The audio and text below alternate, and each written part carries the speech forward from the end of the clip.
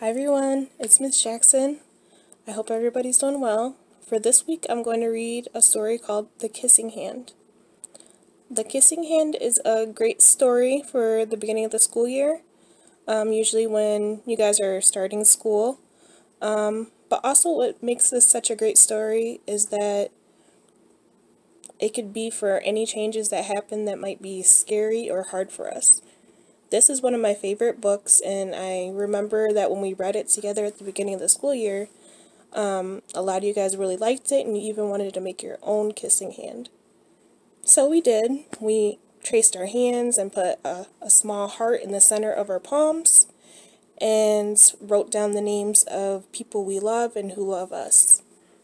Maybe that's something you could do with you and your family create your own kissing hands together to help you feel safe and remind you that you are loved during times you might feel afraid, unsure, or lonely.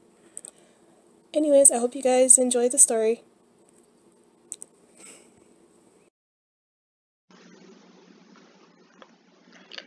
The Kissing Hands by Audrey Penn, illustrated by Ruth E. Harper and Nancy M. Leak.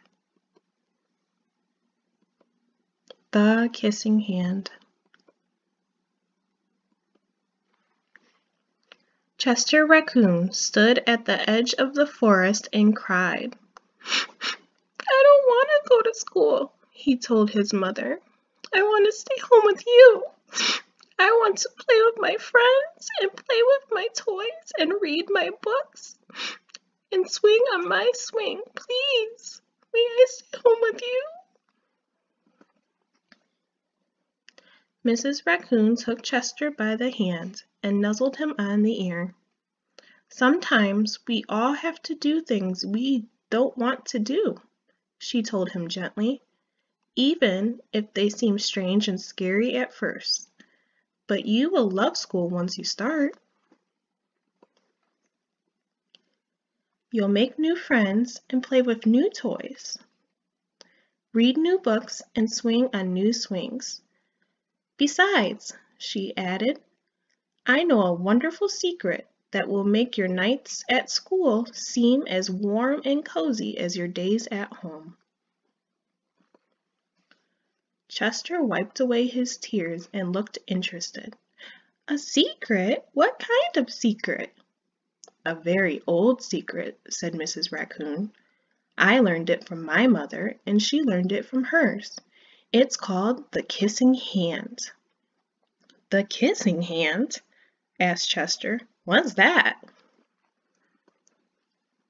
I'll show you.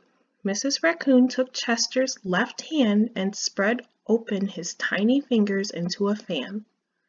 Leaning forward, she kissed Chester right in the middle of his palm. Mwah! Chester felt his mother's kiss brush from his hand, up his arm, and into his heart. Even his silky black mask tingled with a special warmth. Mrs. Raccoon smiled. Now, she told Chester, whenever you feel lonely and need a little loving from home, just press your hand to your cheek and think, Mommy loves you. Mommy loves you.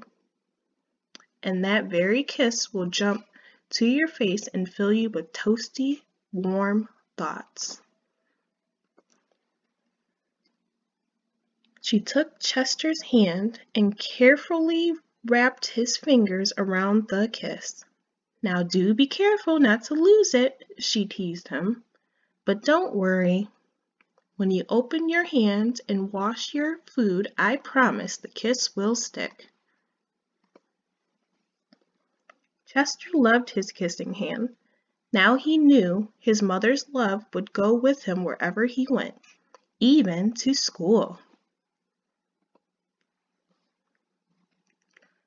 That night, Chester stood in front of his school and looked thoughtfully.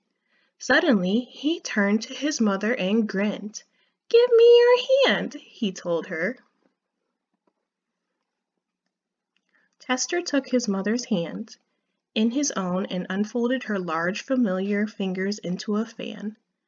Next, he leaned forward and kissed the center of her hand. Mwah!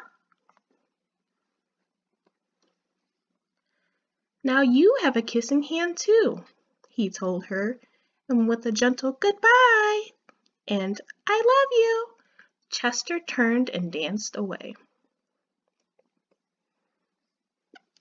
Mrs. Raccoon watched Chester scamper across a tree limb and enter school. And as the hoot owl rang in the new school year, she pressed her left hand to her cheek and smiled. The warmth of Chester's kiss filled her heart with special words. Chester loves you, it sang. Chester loves you.